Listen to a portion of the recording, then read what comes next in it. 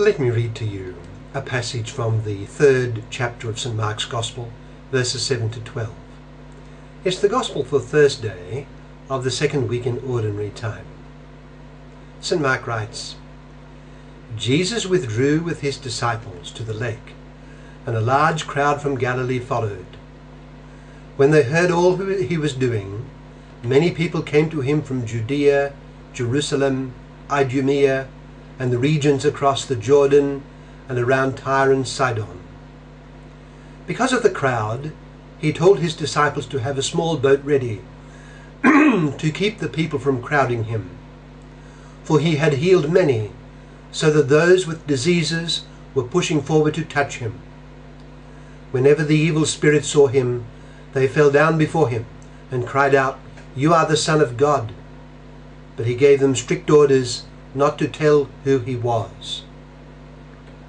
That's from Mark chapter 3, verses 7 to 12. What does it suggest to us? Well, it suggests what is the true work of God. What do I mean?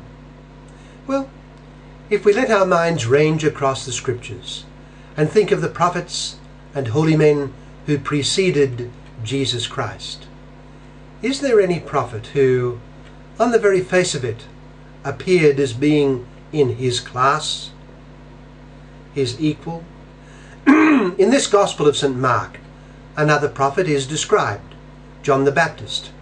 Mark tells us that, and I quote, there went out to him from all Judea and Jerusalem people who were baptized by him in the Jordan.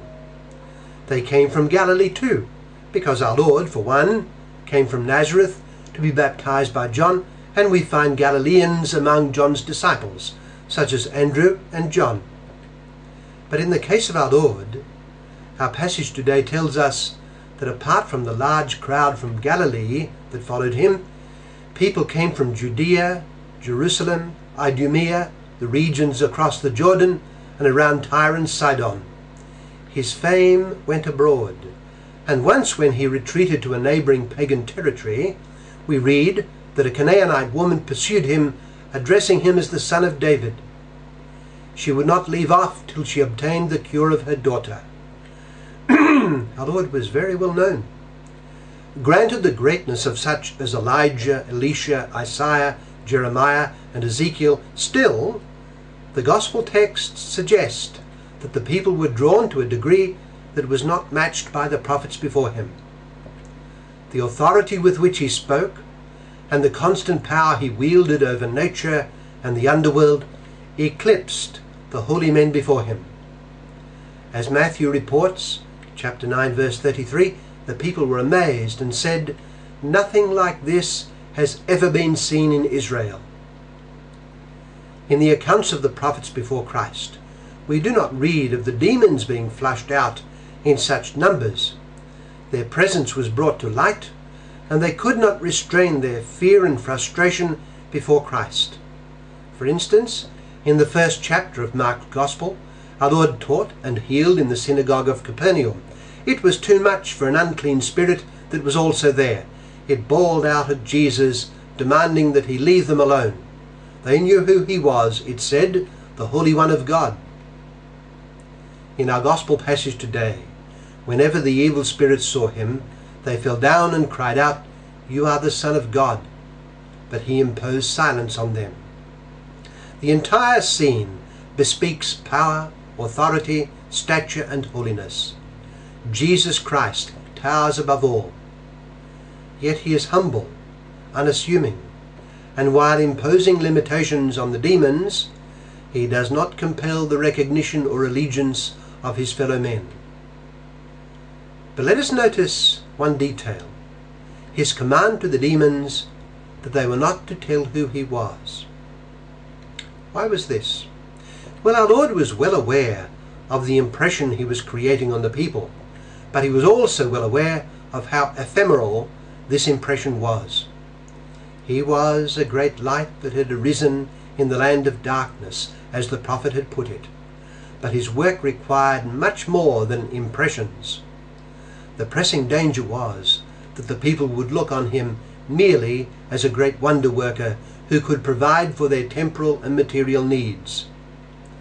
Our Lord's intention in healing the sick and casting out demons was to point to the greatest liberation yet to come, and which he would soon effect. He had come to take away the sin of the world, to give men the power to be children of God, and the gift of holiness.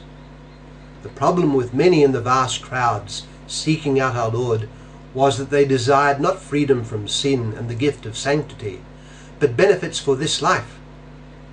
Our Lord could provide those things. He healed, He cast out devils, He raised the dead, but these miracles were a sign of something far greater that He wished to give. Some even wanted our Lord to be just a political king who would bring them a regime of great material prosperity. They wanted a kingdom of this world filled with the benefits Jesus was providing in his miracles, whereas our Lord had come to establish here on earth the kingdom of heaven. The challenge before our Lord was to bring the children of Israel to desire this, this far greater benefit, and to do the work that was required for it. That work was repentance. Repent, for the kingdom of God is near at hand. It was also a work of faith.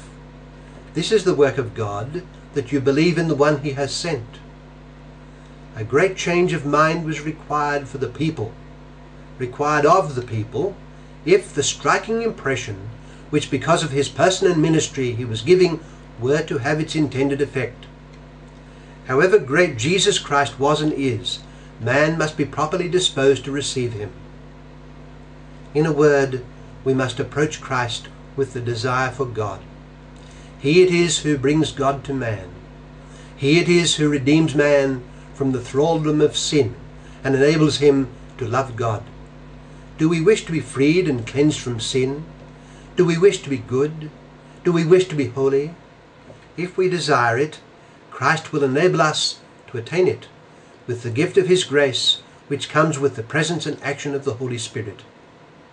Let us pray for these fundamental predispositions that make of us good soil for the seed of God, a seed that can, together with our work, produce in us a harvest.